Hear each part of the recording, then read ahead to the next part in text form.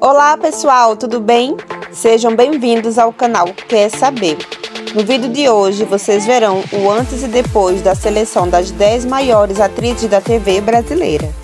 Mas antes, peço seu apoio deixando seu like e se inscrevendo no canal, assim o YouTube vai ver que o vídeo é bom e vai recomendar para mais pessoas e consequentemente faz crescer o canal e me motiva a trazer mais conteúdo top para vocês. Vamos começar com Adriana Esteves.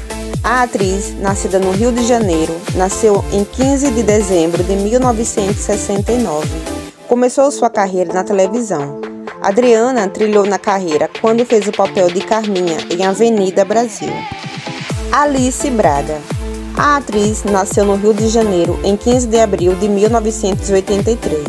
Começou sua carreira ainda adolescente. Sua primeira atuação foi aos 19 anos.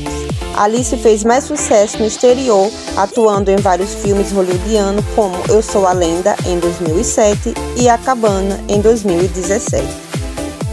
Bruna Marquezine. A atriz, nascida no Rio de Janeiro em 4 de agosto de 1995, Bruna começou sua carreira ainda criança, fazendo comerciais e vídeos com a apresentadora Xuxa.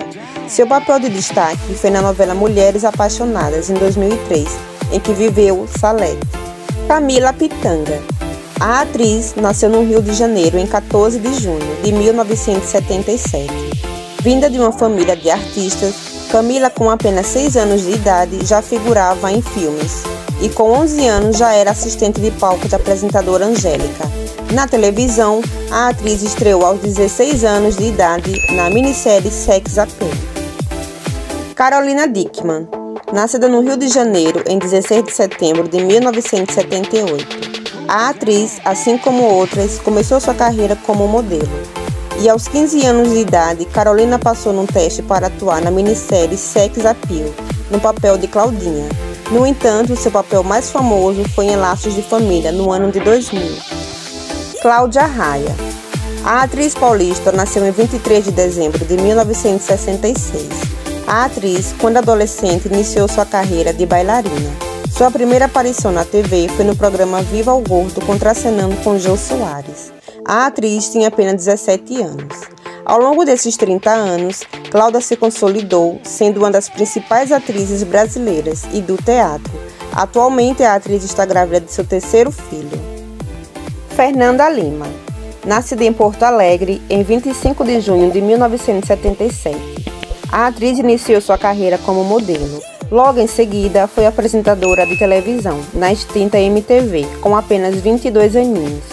A atriz fez algumas novelas, mas o seu grande foco foi ser apresentadora de TV. Através de seus trabalhos como apresentadora, Fernanda ficou conhecida internacionalmente. Fernanda Torres. Assim como Camila Pitanga, a atriz também nasceu rodeada de artistas na família. Seu nascimento foi em 15 de setembro de 1965, no Rio de Janeiro. A sua mãe, Fernanda Montenegro, é uma das grandes atrizes brasileiras mais importantes de todos os tempos.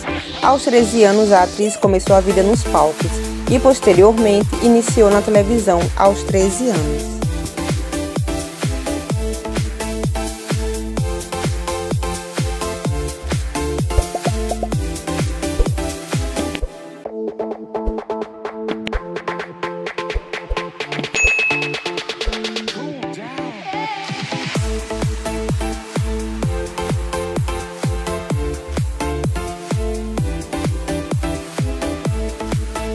Fernanda Montenegro, nascida em casa no Rio de Janeiro em 16 de outubro de 1929, deu início à sua carreira como locutora de rádios aos 15 anos de idade.